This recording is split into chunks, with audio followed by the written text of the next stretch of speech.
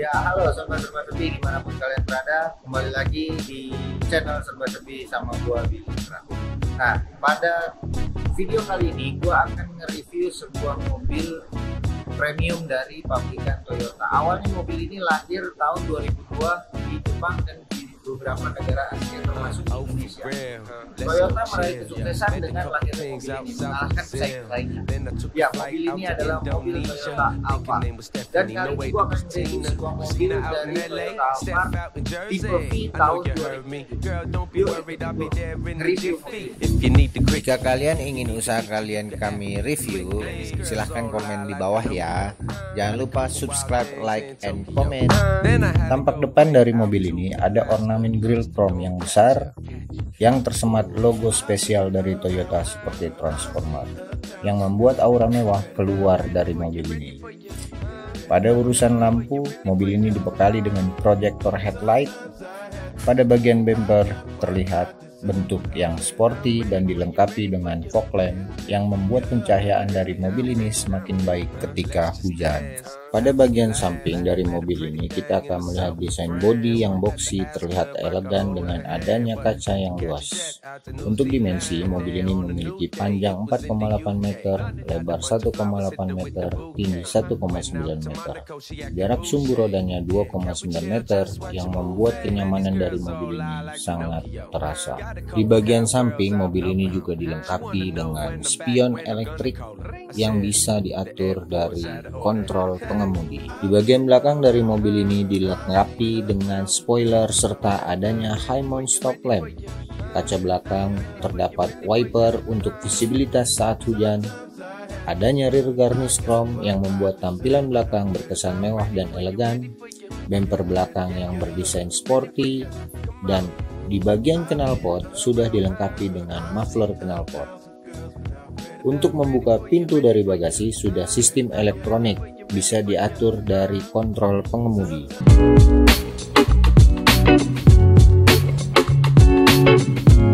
Ya, sekarang gua ada di mobil Alphard V3000cc di tahun 2007. Nah, ini emang bener mobil mewah, guys. Jadi kesan premium langsung kita dapat ketika kita dari buka pintu aja udah kita bisa dapat. Dan ketika kita berada di dalamnya, ini mobil bener-bener dari kursinya buat kita nyaman banget. Dan setirnya juga terlihat mewah.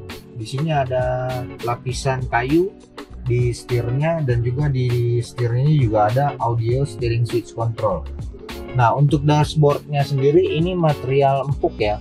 Jadi memang ini mobil berkualitas dengan desainnya juga di interiornya juga berkualitas banget.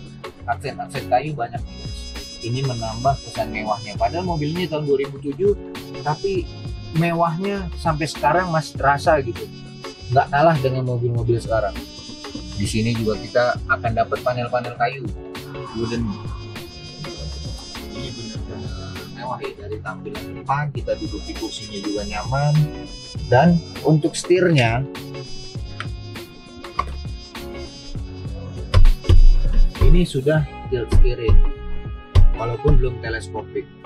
Tapi walaupun belum teleskopik ini posisinya juga udah enak untuk kita menyetir ya. Karena posisinya mobil ini e, minibus jadi kita langsung bisa melihat jalan. Karena udah posisi tinggi. Dan untuk di bagian tengah ini juga kita akan melihat sebuah sistem audio. Audio double din dan ini bisa format semua format multimedia bisa masuk ada iPod, y, uh, iPod, Bluetooth, aux, CD, DVD, MP3 ini bisa masuk di audio ini dan sistem audionya juga bagus untuk uh, pendengaran untuk sistem audionya juga berkualitas. Nah untuk sistem AC-nya di sini guys. Nah ini sistem AC-nya uh, sudah lengkap ya walaupun dia masih tombol-tombolnya terlihat kesan jadul tapi ini punya spesifikasi AC yang lengkap. Di sini bisa kita lihat juga ada tuas-tuas transmisi di sini di dashboard. Tuas transmisi di dashboard dengan aksen kayunya dia ada sistem penguncian juga untuk transmisi. Nah ini untuk lighter nah ada lagi buat nyalain rokok juga guys. Walaupun jarang ya digunain. Nah ini untuk lampu hazard di sini guys. Ini lampu hazard. Gampang dijangkau. Ini untuk menyalakan lampu di dalam ruangan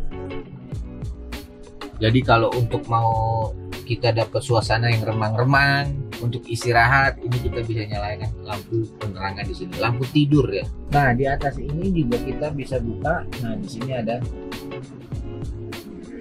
sunroofnya. Bisa dibuka.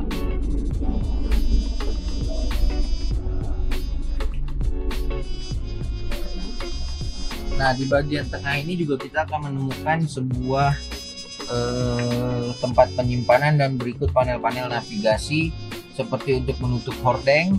Ini ada pencetan di sini. Ini untuk menutup hordeng. Membuka hordeng, menutup hordeng. Nah, ini harus kita nyalain dulu, guys. Baru berfungsi. Nah, ini guys. Nah, ini kalau kita pencet, dia akan mem- membuka dan menutup hordeng kita close. Nah, hordeng belakang ke close. Ini hordeng samping, kita close. Nah, ini akan ke close sendiri. Jadi benar-benar mengutamakan kenyamanan di dalam kabin. Privasi tidak terganggu. Dan untuk yang di bagian tengah sini, ini untuk kita membuka sun visor di baris kedua. Karena mobil ini punya dua sunroof. Sorry, bukan sun visors, sunroof. Nah, ini kita pencet di sini guys. Ini akan kebuka secara otomatis. Nah, akan kebuka secara otomatis. Jadi semua diatur di pengemudi. Ini menutup lagi otomatis.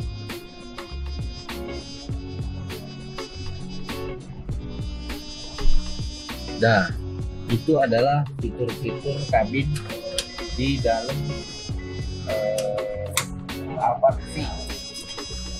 Dan ini untuk penyimpanan di baris kiri di baris penumpang depan ini juga ada tempat dua buah penyimpanan. Satu dua.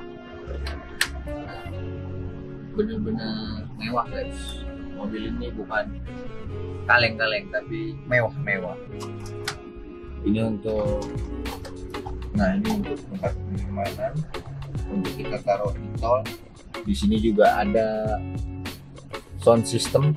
Ini Alphard ini punya sound system yang berkualitas banget.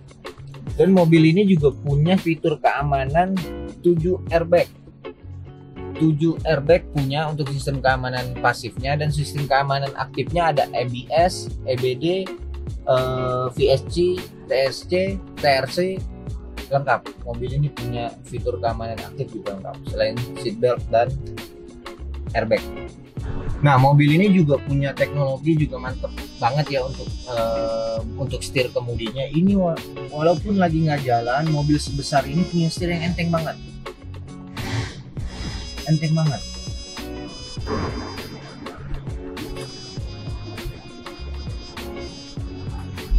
Sekarang kita masuk ke baris kedua.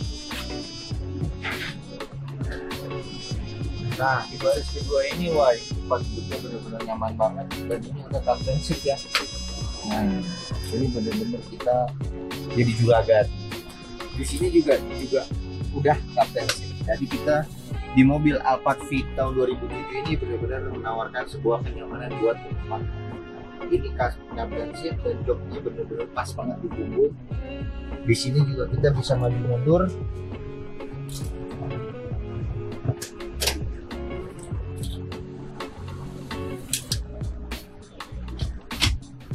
Nah ini untuk rebahnya. Ini rebahnya sampai seberapa? Waduh enak banget.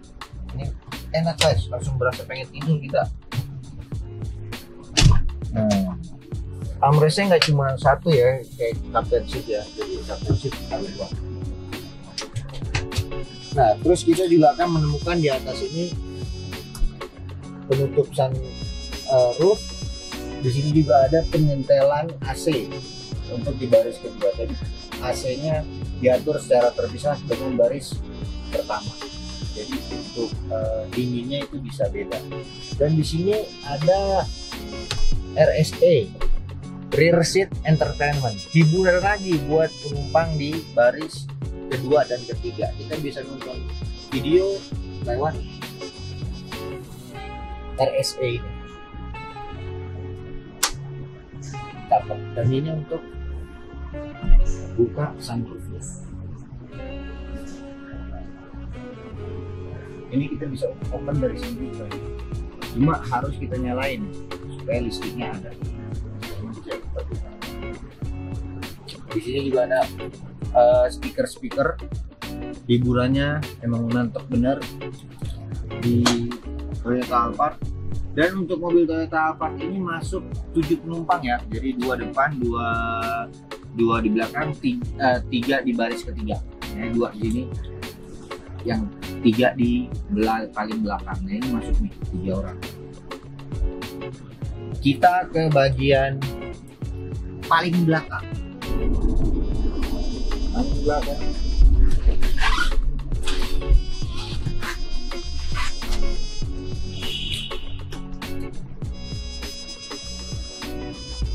Nah, baris belakang ini juga bisa kita atur ya ketinggian tempat apa namanya rebahan di tempat duduknya dan maju mundurnya untuk kelegaan kaki kayak seperti ini. Nah guys, ini bisa kita atur. Ini untuk rebahnya. Wah ini mantap banget juga. Perjalanan 3 jam Anda naik Alphard nih bisa terasa 5 menit. Karena 2 jam 55 menitnya dipakai buat tidur karena mobil ini nyaman bener. Nah di baris ketiga ini di pilar pil di pilar sin, sini ini juga ada SS, SRS curtain airbag. Jadi mobil ini tadi jumlah airbag ada tujuh benar-benar mengutamakan keselamatan dan kita akan lihat juga di sini untuk lubang AC.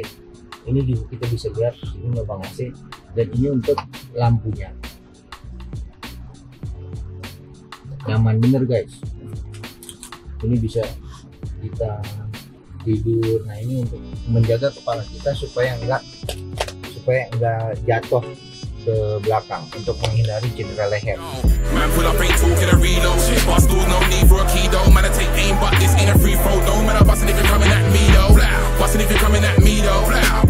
Untuk urusan mesin, mobil ini sangat-sangat bertenaga. Dibekali dengan mesin berkapasitas 3000 cc dengan kode 1MZ strip VE V6 dengan 24 katup. Tenaganya mencapai 220 horsepower di 5800 rpm dan torsi maksimalnya di 310 Nm di 4400 rpm dikombinasikan dengan transmisi otomatis ACT dengan 5 percepatan. Ya, sekian review gua di mobil Alphard V tahun 2007 dengan mesin 3000 cc ini. Kesimpulan yang bisa gua kasih buat teman-teman semua, mobil ini menawarkan sebuah kemewahan, elegan, tenaga besar, kabin yang nyaman, sangat nyaman dan punya fitur keamanan yang lengkap. Fitur-fitur multimedianya juga mantep banget. Dan mobil ini tahun 2007 untuk Alphard V tahun 2007 ini dihargai cuma 170 juta. Sobat-sobat semua bisa dapatkan mobil ini bisa bawa pulang. Ini di alamat showroom Lion Auto Cars di Grand ITC Permata Hijau lantai 5 lot B11 nah mobil ini dengan 170 juta Anda bisa dapat premium yang mobil premium yang mewah banget Oke, sekian review kita kali ini. Sampai jumpa di video kita selanjutnya. See you on next video. Jangan lupa subscribe channel kami, like and comment, serta share. Oke, bye. I mean no tricking out, meaning if it's on, then it's on. Stay looking out on site gas, so it's fire, no cooking out. Run, you say no bolting. Book for the wall, you're coping.